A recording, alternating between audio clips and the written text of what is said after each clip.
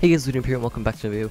Today I'm going to be showing you how to create custom loot tables. Sorry that by the way that that's cut off. Let me see if I can temporarily show you. There we go. This is episode 17 and um, before I start this video I wanted to apologize for the insane lag. I had to reinstall OBS which I use to record my full screen rather than just my normal videos.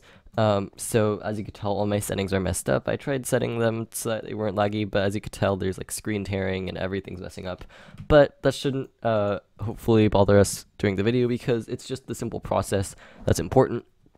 Um, so thank you, of course, for 499 subscribers. At least that's what's at as I'm recording this video. So there's an extremely high chance that by the time I've ended the recording of this video, I will have hit or I mean not the end of the recording of this video. There's extremely high chance that by the time this comes out, like three days after it's recorded, uh, I will go ahead and have 500 subscribers. And if so, of course, thank you for that. If not, still thank you for 499 subscribers. Uh, of course, thanks you. Before I continue on, last thing, thank you to Shatter on Patreon for supporting me and helping me stay um, up and fund my server. Uh, if you want to go ahead and help support me, click the link in the description down below.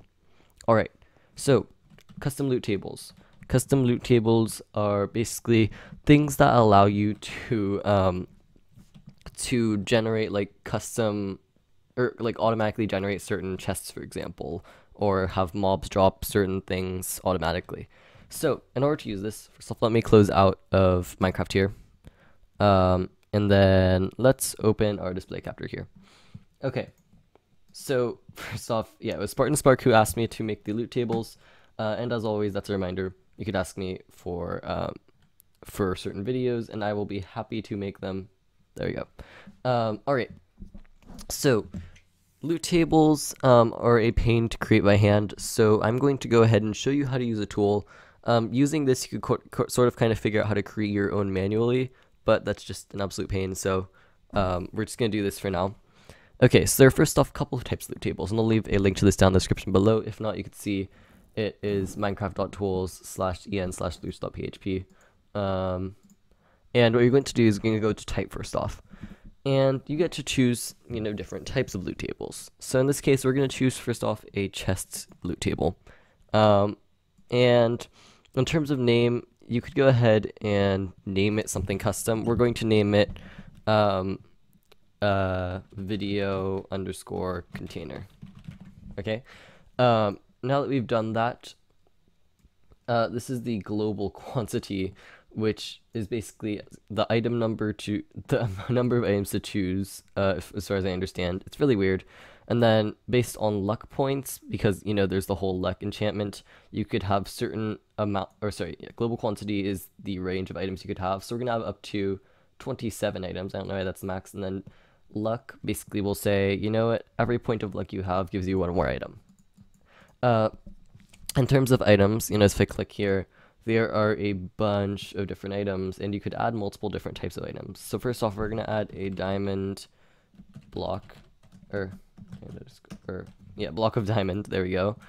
Uh, and we'll give it a weight of one. So, you know, it's right now the most likely because it's the only item. Uh, in terms of count, um, let's see this is in order to choose if you want a certain amount. We're going to choose uh, up to seven. And of course, you could add conditions. So you could, for example, give a certain percentage uh, chance. We're, we're not going to set that though. Um, you could also go ahead and require a certain amount of experience points to enchant it, uh, or give it enchantments. So, for example, and of course, by the way, I know there's a lot of spelling errors on this. I didn't create it, uh, and nor am I affiliated with it. Um, we could say have the diamond block have mending on it, but we don't need that because that makes zero sense. Okay, and we'll just keep that. We'll add one more thing, which is, let's just go through here. You know, let me grab a command block. I believe we could do that. Let's do a repeating command block. Um, we'll go to more options here. I don't know if this will work. We'll go ahead and try and enchant it with, um, let's try and choose something really stupid. Let's choose, um, uh, lure. Even though, of course, that makes zero sense. Um, and of course, I can make it a percentage chance, but I want to make sure that it works. And then in terms of count, I'll make between 1 and 27. I, that was by the completely random. I did not mean to make the same numbers up there. And we'll make it so that there's like a 78% chance that, that you'll get it. Okay. um, NBT tags if you want to add custom NBT, which is a bit more complicated, but we're not going to do that. And then um, that appears to be good. So now we've created ourselves a, loot table. Now, interestingly, I put this under a command block tutorial, but th this isn't vert 100% uh, related to command blocks because you're going to actually need to go ahead and like put this inside of um, of a specific like uh, folder, and it's really weird. But anyways, what you're going to want to do is click generate your loots table, and you notice it gives me this this string right here. So then click on the click here button, um, and I'm going to save it uh, in a certain location in just a second here. So now that I've downloaded it, you know, it says to download it to minecraft slash save slash slash data slash loot tables slash mc tools slash chests. Uh, mc tools, by the way, I don't think is required. Uh, you know, if I go over to the Minecraft wiki here, uh, it doesn't show me the, oh yeah, it just basically um, create a folder called anything, but um, I believe, yeah, you just do loot tables and then you could do whatever. But um, we'll do it the exact way it wants it because I don't want to break something. Move over to the file explorer here. So we have some instructions as to what to do. And of course, if you're wondering why there's something blacked out, that's because uh, that's my name. um, all right, so we're going to go over here, and I, in order to get here, I typed in uh, to the address bar percent app data percent. Then I clicked on .minecraft, and then saves. then 1.11 command block tutorial. Wow, that's a lot of different uh, files. And then you're going to go to data. And you notice we don't have anything here yet, so in terms of folders at least. So I'm going to create a new folder called loot underscore tables.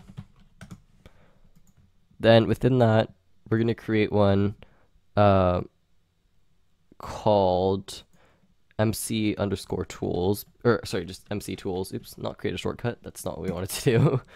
Uh, new folder mc tools. Um, create another new folder called chests, just for organization's sake. Uh, and then what we're going to do is we're going to drag that file we just downloaded, which is a text file. As you can tell here, if I uh, open that up like so, it's just a basic text file. Um, let me hide that again. Um, and we're going to go ahead here and um, now, now we've had that put in there. So our next step, of course, is to integrate it in the game. Um, and the process will be, by the way, the same for pretty much any type of loot table you have. But I have to relaunch my game, so I'm going to probably do a quick cut here in just a second. Here we are. There we go. Okay, so now we're in the game. I'm going to head over to here. And uh, I'm going to go ahead here and in chat, I'm going, or actually no, we're in a command block because it makes it easier to see. I'm going to paste in the example command that it shows um, in order to just kind of show you what you're supposed to do. So I'm going to give myself a command block. All right, and what it recommends doing essentially here is this command, uh, just like so. So, in order to ever use a loot table with a chest, you do give at p, or really set block, you know, um, I'll, I'll show you set block in just a minute. Uh, chest one zero, uh, and of course that's like basically telling it give me one chest with no extra data tags. Then it pasted in this little thing here, and this is what enables loot table. So let's dissect this.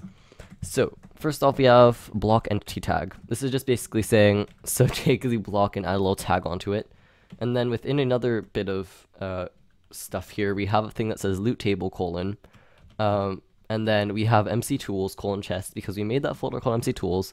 They made another folder within that called chests. Now within the chest folder, so we have a backslash now because we're telling it this is the actual thing. Um, we have video underscore container, which is what we named it, if you remember that.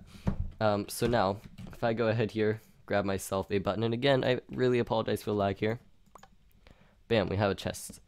And when I open this chest, you'll notice it went ahead and generated all with diamond blocks and um, and command blocks. So what I'm going to do here first off is I'm going to test off test if everyone's the same. Well, no, you'll notice it's not the same. These are actually completely different chests uh, with different levels of lure.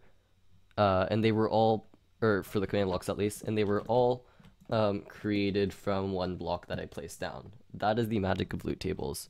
That's why I can't pick any of these items up. I would attribute that to lag, by the way. Um, but the point is you could use this for a lot of custom stuff. Um, so let me go ahead, by the way, and now use this for set block. Um, because set block is the really cool one, I think, um, that you could use because uh, that, but this will supposed to be used for survival games. Um, I think that's one of the coolest uses for it. Anyways, what I'm going to do is set block um, the block above it. And then I'm going to actually set it to repeating and, uh, and always active. If I did this right, there we go, we should have a block there. And you notice every time I open it, it just glitches out because it's constantly running. So in that case, let me turn that off to needs redstone mode. And let's see if I press that, maybe. It's not working, okay. So apparently set block doesn't work with that. Um, that's good to know. If I look at the set block command syntax, um, set block, blo uh, place block, data value, old block handling, and then data tag. So I'm not sure why that doesn't work. Apparently it only works with the give command. Um, so in that case, just use it with give. But it's one of those weird things where you wonder why why it doesn't work correctly, but it doesn't. Okay. But there's that anyways. Um, and so that is how that works. If I were, for example, to be doing one with an entity, it would give me an example command to use as well, but it would likely be something like this. It would be summon, um, and let me take a look again for the syntax for the summon command, uh, and also make this uh, big so you could see. So I do summon an entity name, so say for example, zombie, right? Um, as location, and then it would be something like um, block entity tag colon um, you know, loot table colon quote MC tools, you know, entities, and then, um, or actually, yeah, something like that, and then entities, and then, or actually, I'm doing it wrong, entities colon entities, backslash, you know, um, example underscore container, and then a double closing bracket. And that would be basically how that would work. But of course, that loot table doesn't exist. And also looks like I'm in peaceful mode, so that, that would explain that. Um, one sec, my file explorer is giving me an if, er, I don't know what it's doing. Anyways, um, I believe that should do it for this video. If you want, of course, to see any more advanced things, it doesn't even have to be command block related. It could just be, you know, technical Minecraft stuff, or even another game if I could possibly run that game on my computer, let me know, of course, in the description or in the comment section below. Um, once again, I hope you have enjoyed this video. Thanks for watching. Bye.